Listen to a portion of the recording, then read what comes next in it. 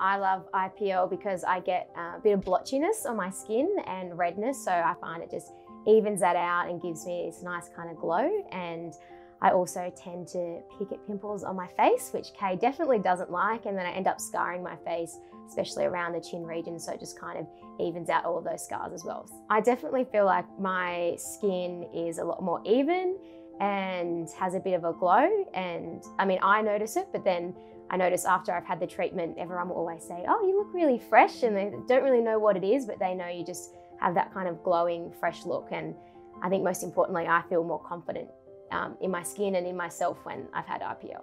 Um, I come to the clinic because um, they're just the absolute experts in skin treatment. So I love the fact that um, Kay is so experienced and she can just take one look at my face and know exactly what I need, and that might change from time to time. But I just also love the fact that it's such a friendly place and we always have really great chats. So I enjoy it not just so much for the, the treatment, but also the people here as well.